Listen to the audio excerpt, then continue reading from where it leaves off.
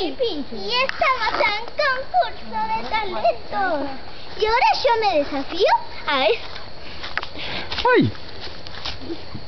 No me sale bien, lo siento, público.